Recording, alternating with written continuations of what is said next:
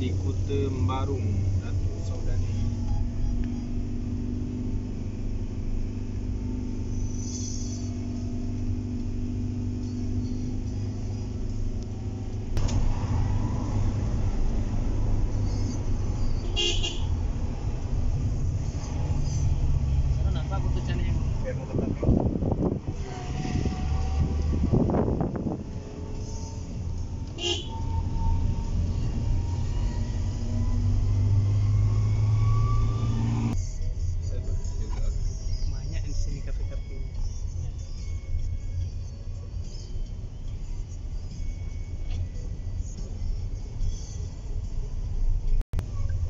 Siapa beliau?